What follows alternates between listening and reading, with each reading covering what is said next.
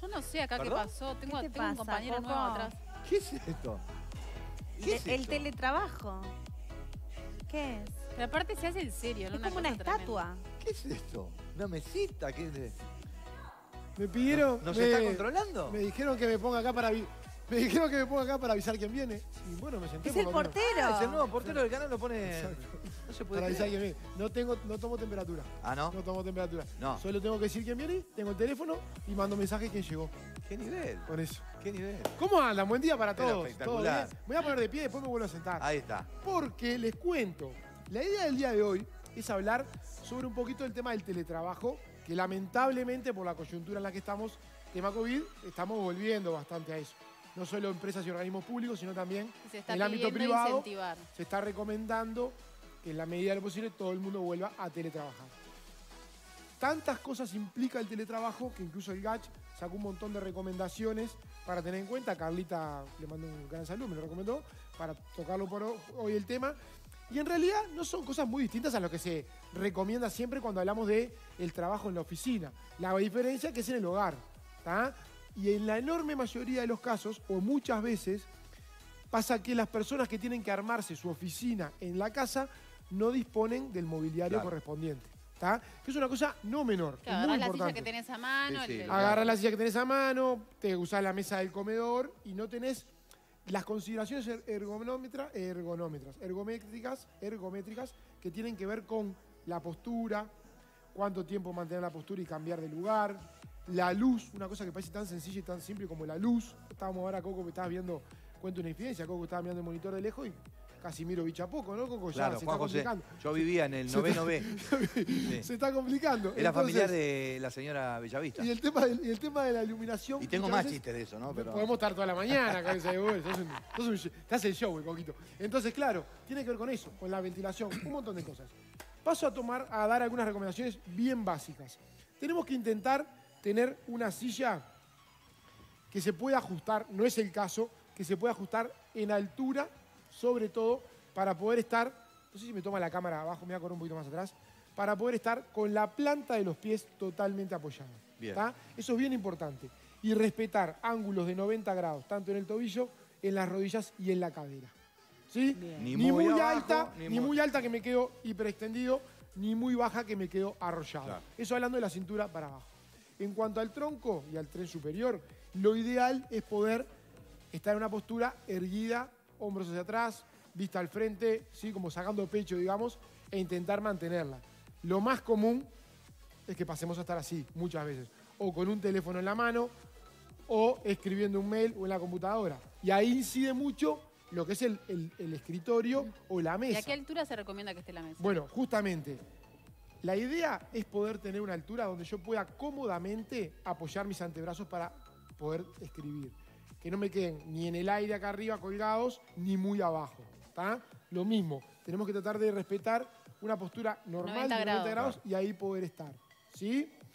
Tratar de tener las cosas relativamente cerca. Tengo un alumno que está con un problema en el homóplato de contractura grande. ¿Por qué? El otro día estuvimos bichando, trabaja mucho desde el escritorio. El otro día estábamos mirando y tiene el mousepad muy lejos.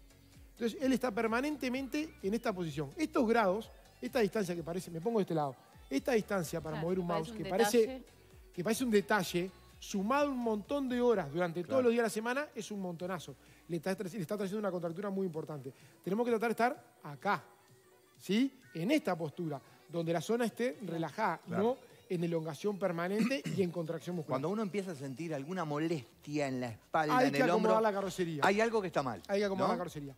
Una cosa bien importante es la altura del monitor, ¿sí? Ni acá arriba, ni abajo.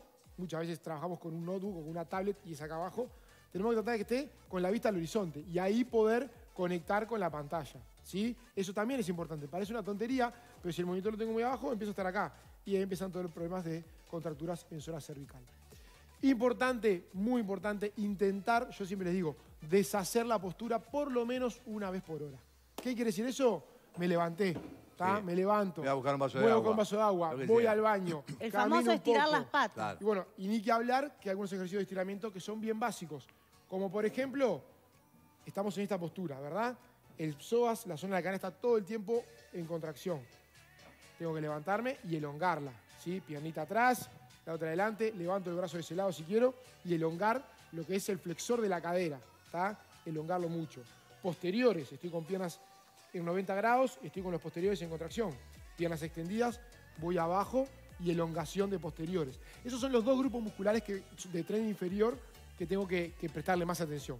Después todo lo que tiene que ver con la zona dorsal, ¿verdad? Puedo ir a un lado, puedo ir al otro y la zona escapular, ¿sí? Darle movilidad, tratar de ampliar el- el- la apertura de pectorales, ¿sí?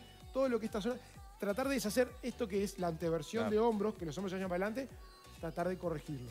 ¿ah? Eso es muy importante. Tema de antebrazos y manos. Mucho estiramiento acá. Se generan contracturas, se generan tendinitis por mucho trabajo de tecleo, de, de- de escribir, tipeando y utilización del mouse. Extensiones, ¿sí? De antebrazos, de un lado, del otro. Y por último, la zona lumbar. Yo le llamo el muñequito de trapo.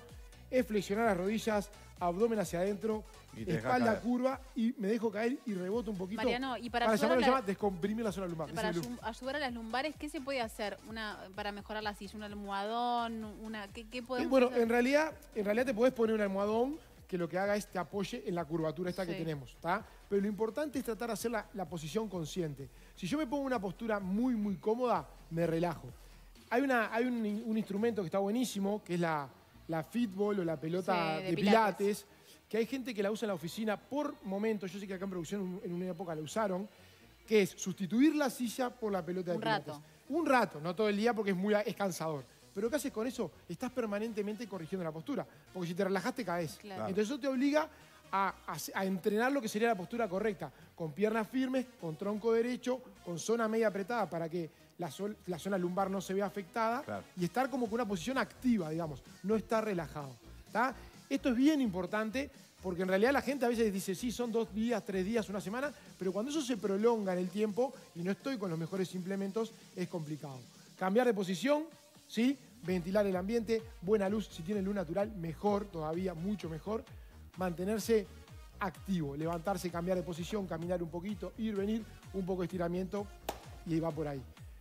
Y cerrando el, el tema y cerrando un poco el año, lo que nos dejó, o lo que nos está dejando este año, es que el ejercicio físico y el cuidado de la salud a través de una alimentación balanceada y equilibrada es la mejor herramienta que podemos tener para tener un sistema inmunológico fuerte y que nos pueda permitir defendernos más de lo que puede ser, por y a nivel psicológico, ¿no? la importancia Ni de que, hablar de, ni que hablar que a, a nivel psicológico la- el, el hecho de hacer ejercicio, un- practicar un deporte que me gusta, es muy importante. Pero a nivel defensa, está clarísimo que la gente que, tiene- que está saludable se cura o, pasa mucho mejor enfermedades como el COVID, por ejemplo, que si tiene alguna enfermedad que, que lo antecede y que se puede complicar.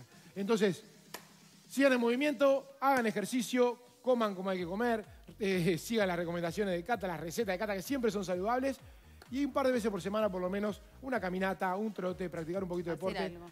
Va por ahí. Si te toca trabajar en la casa, tomen alguna recomendación de este lado y les va a ir un poco mejor. No sé si va a estar impecable como Coco, pero les va a ir un poco mejor. Coquito, Placer muchas gracias. Enorme. Felices fiestas, feliz Igualmente. fin de año. Un gran Grande, 2021 Mariano. para todos. Muchas gracias por todo. Y bueno, seguimos en movimiento, siempre en movimiento. Totalmente. Gracias, Coco. Te quiero. Yo también. Nos vamos a ir a la pausa Dale. después de estas recomendaciones de Mariano Francesco. Ya venimos. Se vienen, ¿eh? Se vienen los signos.